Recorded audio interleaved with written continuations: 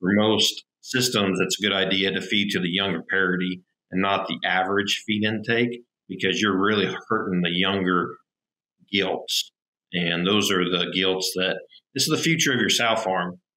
So you you want them to breed back fast. You don't you don't want them to lose a lot of body condition um, compared to a sow that can eat 15% more. She can she can be all right. So I think not using the average of a sow farm for feed intake, I think is important, and then formulate to a higher lysine level using synthetics and not using as much uh, soybean meal is really an, an area of opportunity.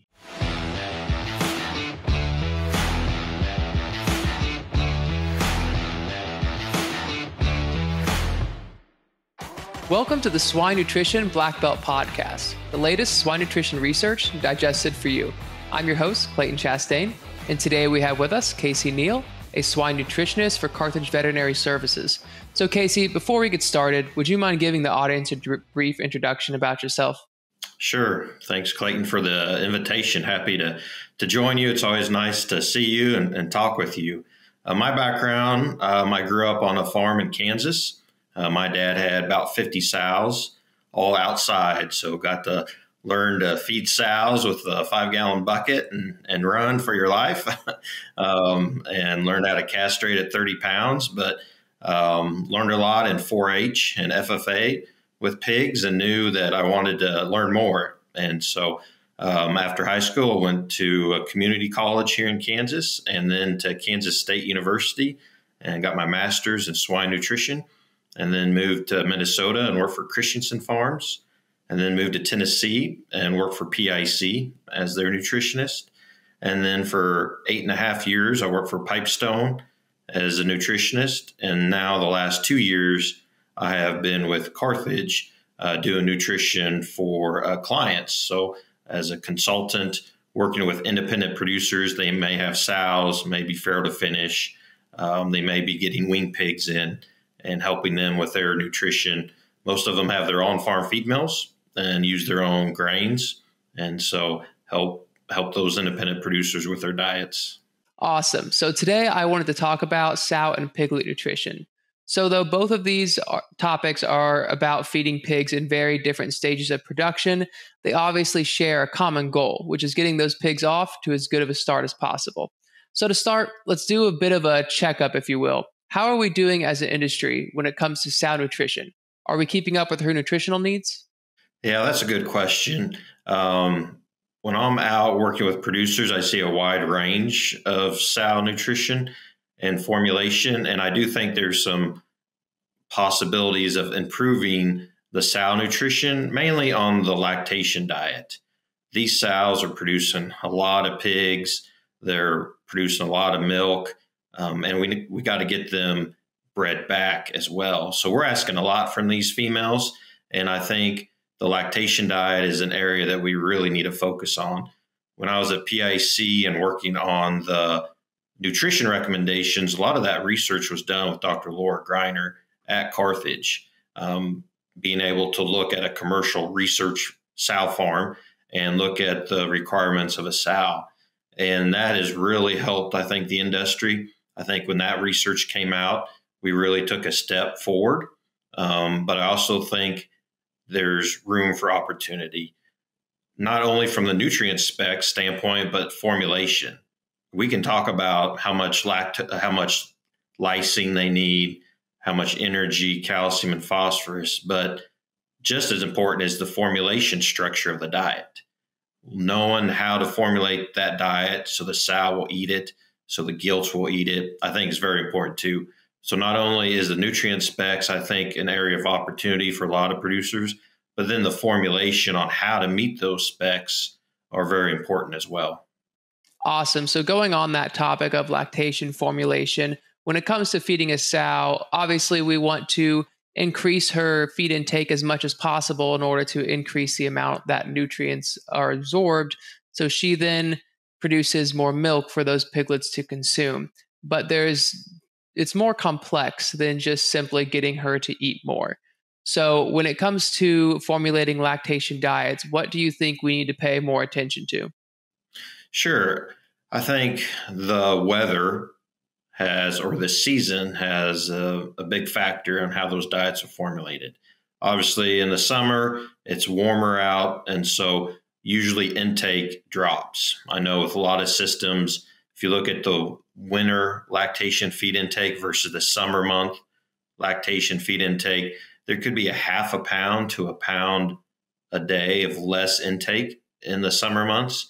And so not only do we need to increase energy, but we also need to increase the amino acids to make sure she's producing enough milk to supply her litter, but also to breed back. And so I think looking at how much added fat in the diet, because I think there is kind of a level where you can add too much fat. I know depending on on the country and and even part of the U.S. Um, there's some places where they need to feed higher energy diets, a lot of fat, and other places you may be able to feed maybe a little bit less fat um, in the northern states, um, even in the summertime. But I think there is kind of a sweet spot there where um, you can feed a higher level of fat without hurting intake. Sometimes when you add a lot of fat, that can decrease uh, feed intake a little bit, uh, just like it does in finishing pigs. So making sure you're using the correct level of fat and then also the amino acids, making sure from a formulation standpoint, you're using synthetic amino acids um, because soybean meal, it seems like with some research that's been done over the last couple years, too much soybean meal can actually hurt intake. So again, how you formulate that diet, we want a higher lysine lactation diet.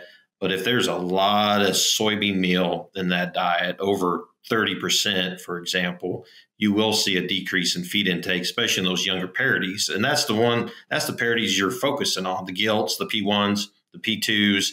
That's where they have about 10 to 15% lower feed intake on average compared to a sow. And so a lot of the systems are feeding to the average, um, whereas the younger parities are, are eating less. And so that's another area of focus as far as looking at what can we do to improve on. I think for most systems, it's a good idea to feed to the younger parity and not the average feed intake because you're really hurting the younger gilts. And those are the gilts that this is the future of your sow farm. So you you want them to breed back fast. You don't you don't want them to lose a lot of body condition um, compared to a sow that can eat 15% more. She can she can be all right. So I think not using the average of a sow farm for feed intake I think is important, and then formulate to a higher lysine level using synthetics and not using as much soybean meal is really an, an area of opportunity.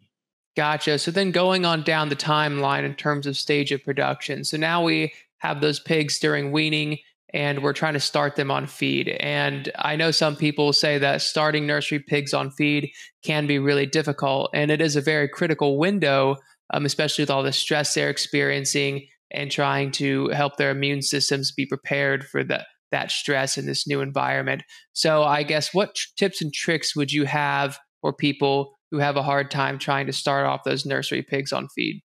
Yeah, that's a good question. You do hear a lot of, of information out there of of the newer genetics not being able to start on feed very well and more fall behinds and things like that. Um, and this is an area that I really get excited about. I really like nursery nutrition.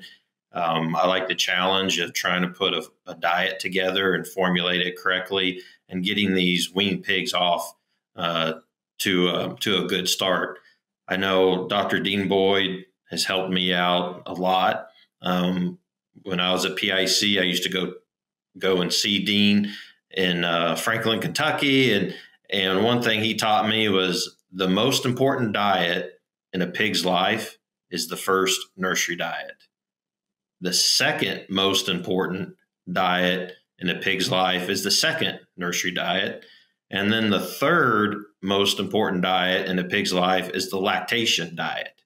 So I think the topics today of sow nutrition and nursery nutrition uh, go hand in hand. Um, Dr. Dean Boyd taught me that. And really, I think there is some opportunity on nursery nutrition. I don't think it's it's all genetics. I don't think it's all um, health and other things. I think how we feed these pigs to get them started is very important. I think helping with the higher lactose levels, cutting back crude protein, I think are very important items to look at. And then the type of ingredients that you use to meet those specs are very important.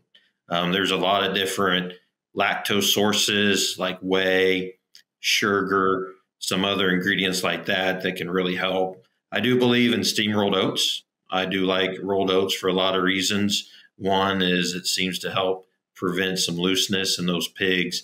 And so I think using the correct lactose source, maybe like a sugar type ingredient versus a traditional whey, is an opportunity to help increase intake and get those pigs started on feed, as well as transitioning those pigs from phase one to phase two and phase three. Uh, um, I think that's an opportunity really. When you go from phase one to phase two, you don't change ingredients too much because that'll cause pigs to go off feed and kind of have to restart them. And so I think a smooth transition from phase to phase is also a key area to look at. When it comes to raising healthy animals, you need more than the right solutions. You need the right partner who brings decades of industry expertise and a global team to put that knowledge to work for the advancement of your operation. At Phibro Animal Health Corporation, we are proud to work with you as your trusted partner. Final question I have for you is when talking about the feed form for nursery pigs. I've done mash, I've done pellets, I've done crumble. So, when looking at these different feed forms for nursery pigs, what would you suggest in different circumstances, or what tips or tricks would you have for those people um, who are looking at possibly doing one feed form versus another? Yeah. So, I think with some research that, that we've done over the last year or two, as well as some um, field trials, I do think a meal crumble feed form in the nursery diet seems to work pretty good. Um, I think those pigs seem to to take after the crumble and meal component very well. That also gives you an opportunity to to use steam rolled oats that we talked about um, versus maybe a pellet. You can't really get. You'll have to use ground oats, and I don't think you get the same response with ground oats as you do with flaked oats. I work with a lot of independent producers that make their own nursery feed on farm. And so being able to have a base mix that flows is very, very important. And so that crumble form actually helps um, the feed flow, not only in the feed mill, but also in the barn as well. Um, we do seem to see a, less scours on a on a crumble meal diet compared to a pelleted diet even when it's the same formulation, same ingredients. The only difference is feed type. Um, and so I think a crumble meal diet, being able to use some other ingredients as well as feed flow and feeder adjustments, I think are uh, some reasons uh, that a crumble meal diet has worked well, at least in our situation. Well, I believe that's all the time we have. So thank you again, Casey, for coming on the show and sharing all your advice with us. Yes, sir. Well, thank you. Appreciate the invitation. Yep. And to everyone else, thank you for listening to the Swine Nutrition Black Belt podcast. Please visit us at swinenutritionblackbelt.com. And don't forget to subscribe to our podcast channel so you won't miss out on the next episode. See you next week.